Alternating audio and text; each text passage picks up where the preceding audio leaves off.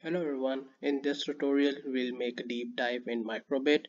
We'll create our first new project. We are going to look at how the simulator is working and we'll also going to look at some of the code blocks. So the first step to do is go to makecode.microbit.org and here you'll see a button called new project. Click on it and the first thing you need to do is give your project name. Here I'm going to give deep dive and another thing to notice here is that if you click on this code options you are going to see three options here. Block python only and javascript only.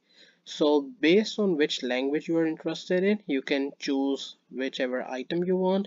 In this case i'm going to choose block and click on create button.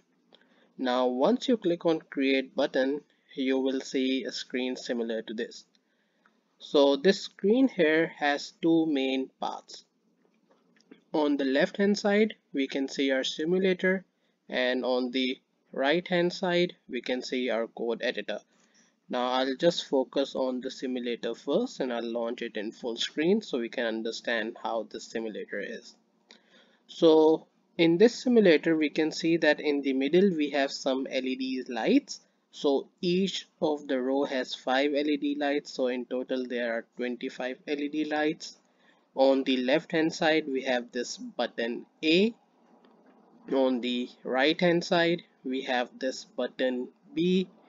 And at the bottom we have these pins. So we have this 0 pin we have this 1 pin and we have this 2 pin.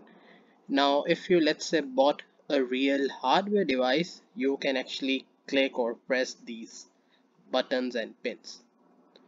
I'll now make it back to normal screen and let's look at the right screen now.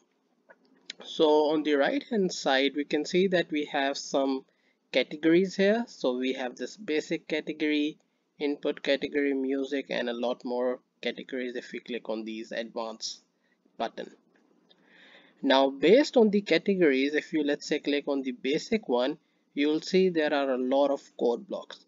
And by using these code blocks you are going to make your code.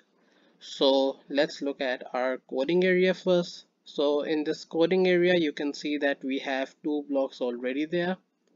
The first one is called on start and the second one is called forever. Now let's say I just want to make a heart shape on my simulator so what I can do is I can click on this basic block. I can click on show icon. Here I can choose many icons but I'll choose this heart. And then I can place this show icon code block in the on start.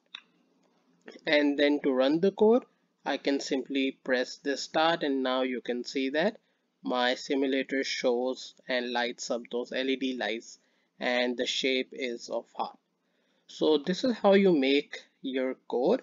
Once you write the code in the code editor the output is automatically shown. In the simulator you can also press the stop button and then play button again. And if we look at the bottom we have this download button as well. What it does it you can take the file and share it with someone as well and also here we have the option to connect the device if you have bought the hardware. And if you see here this is our project name.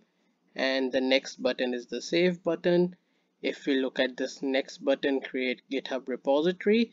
Now we'll not go into creating github repositories but uh, a github is basically a place to store your code and share it with other programmers now this is the basics of micro:bit. We have looked at the screen. If you let's say want to change from block coding to javascript or python you can also click on this list here and you can choose any programming language you want.